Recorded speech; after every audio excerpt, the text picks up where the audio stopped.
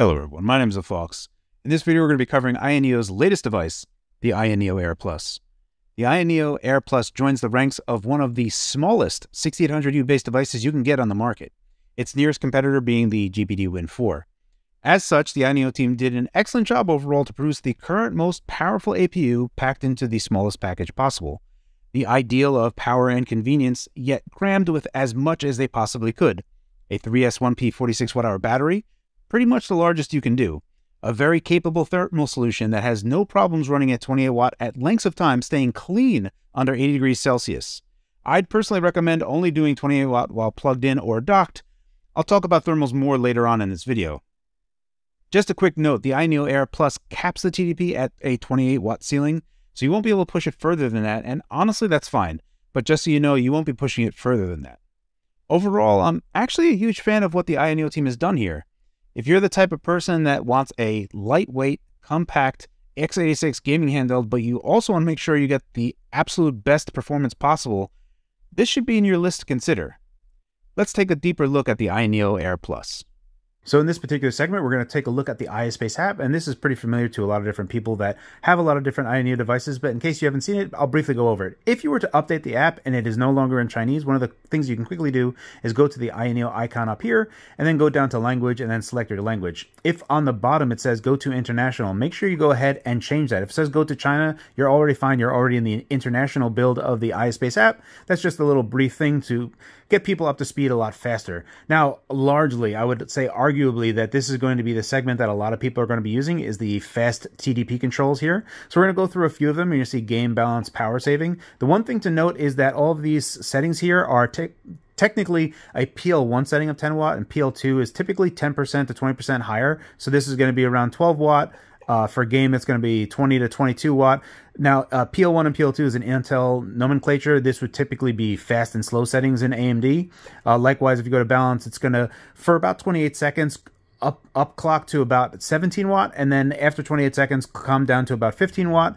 Then there is what uh, a lot of people like is called pro mode. You can see right now it's at 28 watt but if we go ahead and press y you're actually going to be able to select any particular custom tdp that you want here. So this is going to be something that maybe you want to do 18 watt for yourself and that's something that you want to generally ride at. Now 18 watt is something that i recommend. Now this is something that we should have already covered in the video that if we took a look at the thermals of the device itself if you're connected to a charger that's pretty much the only way that i would recommend recommend running at 20, 28 watt, and the battery should be at 100% because if it's not at 100%, that means that the battery is going to be recharging while also powering the device at the same time, and then you're going to get a little bit of extra heat. And again, this is something that we've already touched base with uh, through the earlier side of the video when we're talking about batteries and thermals, but that's just something I want to touch base on really quickly. So this is a quick way to change TDP. Now that is something that I think a lot of people are going to be interested in.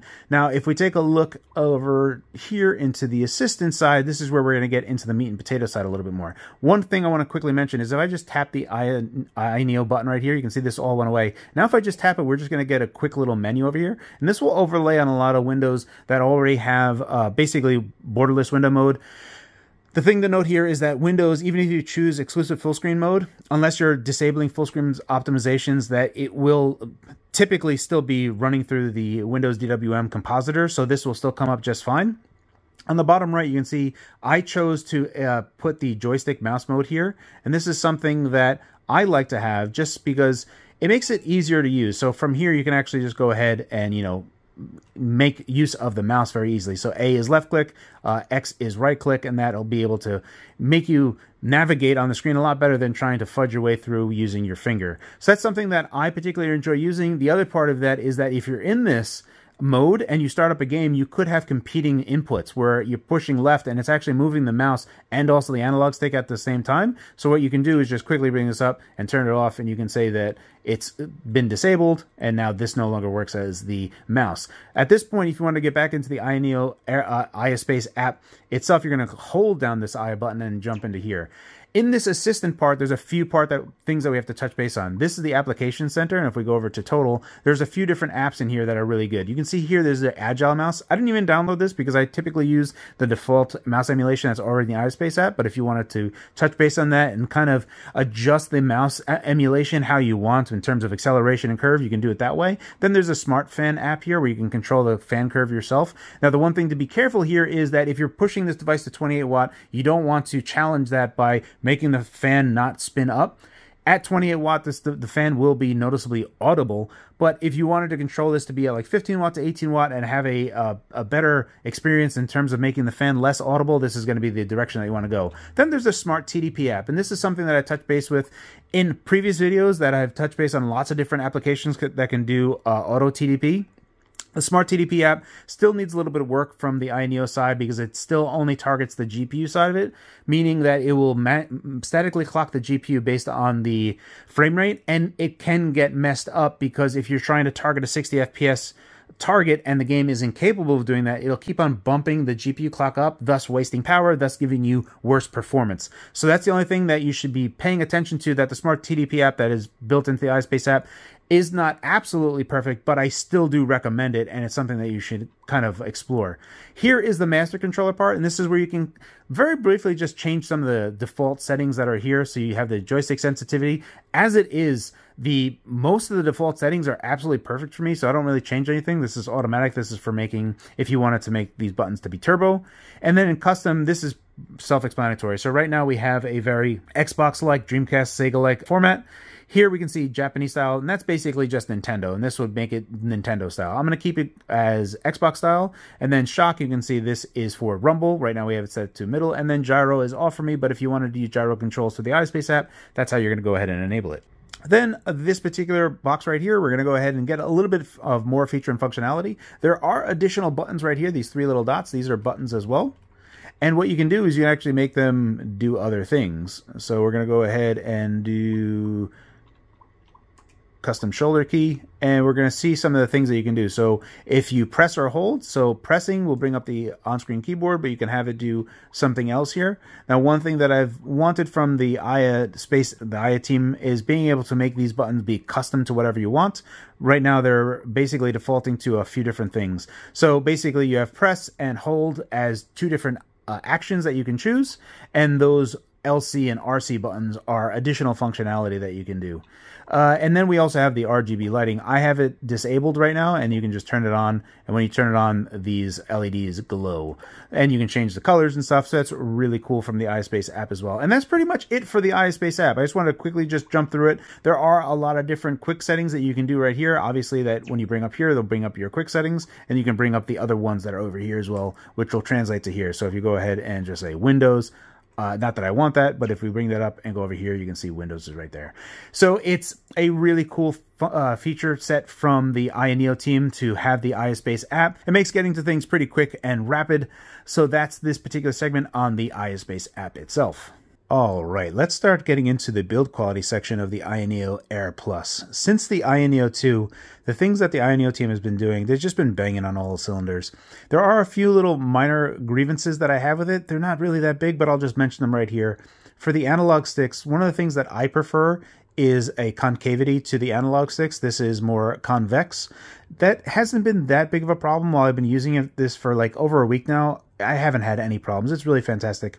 We're going to take a look at how this actually responds via a tool. So we're going to take a look at the sensitivity and also the circularity that the Ayaneo team just really wants to have, but we might be able to compensate around that with calibrating the analog sticks with a uh, cap for the analog stick while having the cap on and then calibrating over it. For the D-pad, it's actually really nice here. We're going to touch more based on that in just a second. We have our start and select button on the bottom. This is, again, a thing that I wish that they would have changed, but this is kind of standard fare for a lot of things. So we have downward-facing speakers, and they are really good. We have our USB-C charging here, and that charges from both.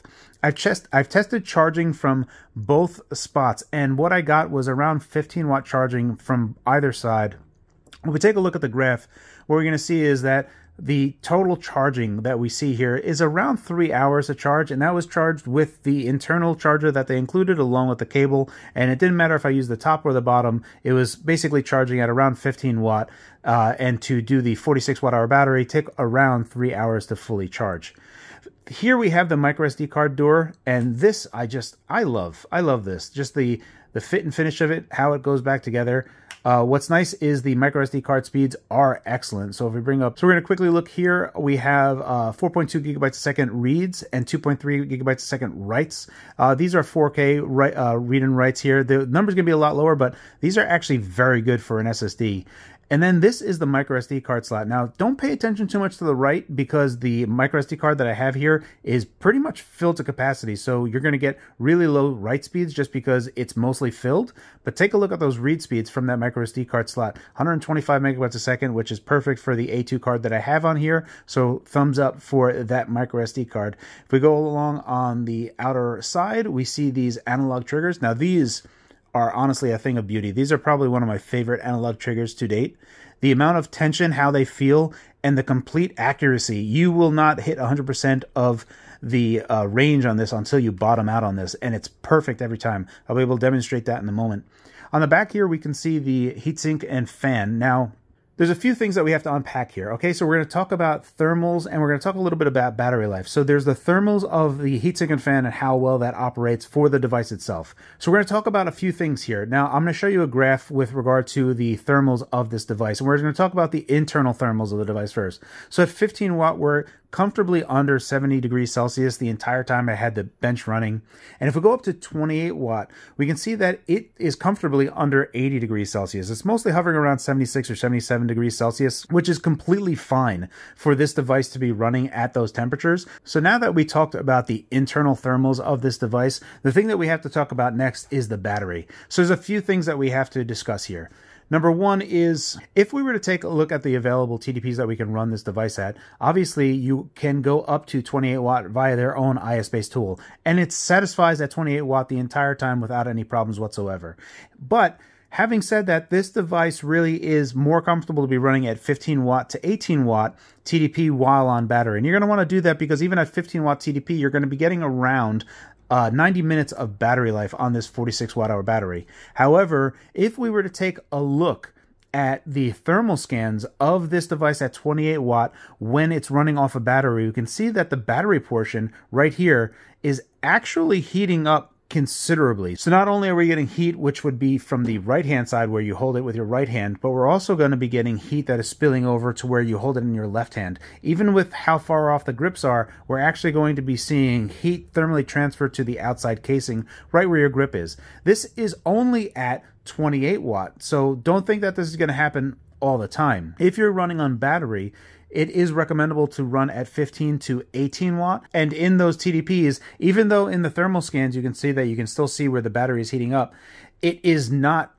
thermally transferring over to where your hand is holding the device. Likewise, for the heatsink and fan, it is not doing that either. So it's actually cool to hold it while in your hand in the grips at 15 to 18 watt. And that's also where you're going to be getting around 90 minutes of battery life in that 15 to 18 watt uh, TDP zone. If you go up to 28 watt, you're going to get around 50 minutes of battery life. So it is important to think about this in a few different ways. If you want to play on the Ayaneo Air Plus at 28 watt, Number one, I would recommend that you're actually running this at 100% battery and plugged in.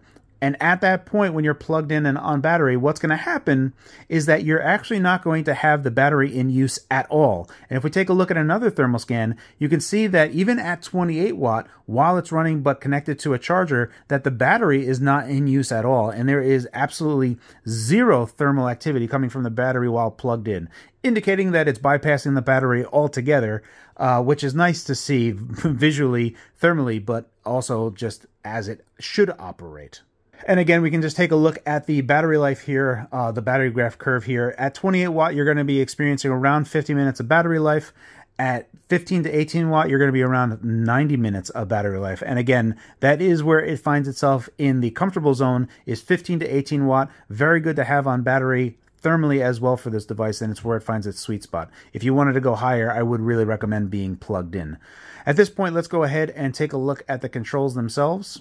All right, so now we're going to be taking a look at the controls themselves. So you can see once again, this is where they the Ayaneo team just loves having uh, showing this circularity test where there's very little average error here. This is only showing circularity. For what it's worth, I prefer that these analog sticks extend past the circle a little bit. There are going to be some games where you'll find that not having that is going to be a problem. However, you can get around it by uh, potentially putting on a switch stick cover and then calibrating the analog sticks after that. And what you're going to find is those analog stick caps are going to uh, basically make the the analog sticks wider so that when you're calibrating and then remove the analog stick cover, you're going to be able to have a wider area around here. So that's one little trick that you can do to improve that if it's a problem for you. If this is something that you like, then this is going to be something that you are going to enjoy. Now let's go ahead and take a look at these analog triggers because this is something that's just really nice. So you can see right here that if we just take a look at the number slowly going up, you can see that I don't bottom out at a full one reading until I'm basically touching the end of this. The amount of finesse needed, like you can see, I'm like halfway depressed right here, and we're about 0.6. It may seem like, look how much little space there is, but it's still not fully bottomed out. This is so super calibrated and nice. Just an absolute pleasure to use these analog triggers. They are without a doubt, one of my favorites across any handheld. They're just so, so nice. Uh, on top of that are the very crunchy, very responsive membrane-based face buttons. Uh, I have really no concerns with these whatsoever. These are uh, truly excellent. And then the D-pad. The D-pad is actually really nice. You can see me rolling around here. Uh, if I push in the center, I can't, there's no way I can hit all four of these buttons. I can only roll over to two at a time. Uh, the D-pad itself is is really fantastic. Even though it seems like a newer iteration of Ayaneo's D-pad, I feel like once again uh, the Ayaneo team has done a really sensational time using membrane-based D-pads, which they seem to prefer as well. So that's pretty much the general scope of the build quality of the Ayaneo Air Plus. Overall, it's just a really fantastic device. The only other thing that we need to talk about right now is the display, and we'll go ahead and jump into that right now.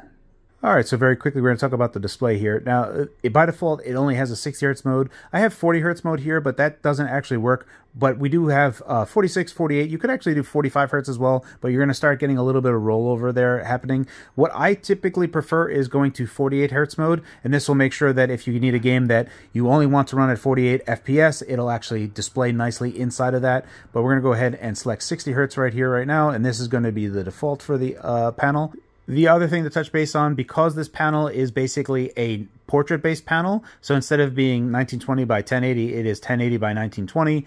What this means is that older PC games will have a little bit of difficulty running, so you will need to wrap those, and I've covered that in previous videos as well, but if you try to run older games, DirectX 8 games will display, but basically they're going to be running at like half. They're going to be you're going to see half of the screen running over here. And if you run older DirectDraw games, it's pretty much just going to crash out. Now that's just one thing that I want to say that it's not really a fault of the Ayaneo itself. It's just a portrait-based panel. You just need to wrap these games so that you can actually play them just so I can briefly show you what I mean. Now, I have this game in Steam, but if you're at this game in like uh, GOG, you're going to do the same thing. You're going to browse to the local file. You basically want to get to the root directory of where the game is installed. So you can see here's Abe Win, and these are where all the files are.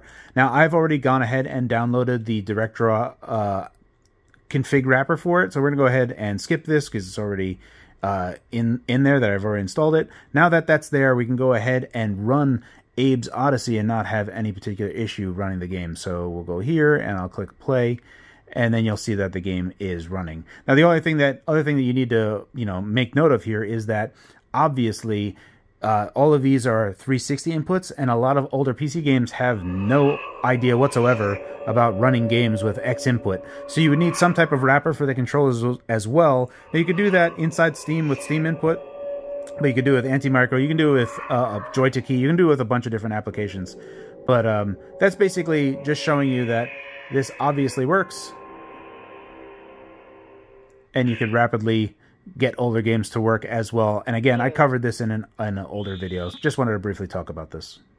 So that's it for my review on the Ayaneo Air Plus. It truly is an excellent handheld. The biggest problem, honestly, just seems to be the timing of when this device is going to get released. As I touched on earlier in the video, the core components of the device are rock solid. Excellent thermals, the biggest battery you could shove in a small space as possible, an excellent, albeit portrait-based display, fantastic D-pad, excellent analog stick, and triggers with sick fidelity, all of that contained in one of the smallest packages possible. The Ayaneo team did a great job on this handheld. My personal recommendation is to use the device at 15 to 18 watt while in handheld state and reserve 28 watt when the device is docked. If the current landscape of handheld devices releasing in the near future gives you pause, I can understand where you're coming from. I would only say that there aren't that many devices in this size class, and this device does everything very well in that category. If this device is in your short list of handhelds you were looking at, I can easily recommend it. And that's it for this video. As always, guys, thank you for your time, and thanks for watching.